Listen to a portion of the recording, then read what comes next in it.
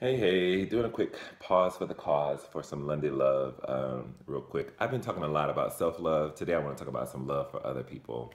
Um, just giving people a little bit more grace by pausing assumptions. I have been assuming a lot, a whole lot lately, you know, whether it's um, you know, sending somebody a text message and they don't respond in the time frame I think they should respond, well, it's because of da da da da da, you know, or if I see something on Facebook or on social media and I'm like, oh, that person posted that because of da da da da. And the reality is, I don't know. And so I cannot keep trying to connect the dots like that. It, assumptions are just not healthy. Not, not only are they dangerous in terms of what is the truth, but they're dangerous in terms of how you relate to other people and especially the karmic debt that comes back to you. It's like Miss Celie said, you know, everything you've done to me is already come.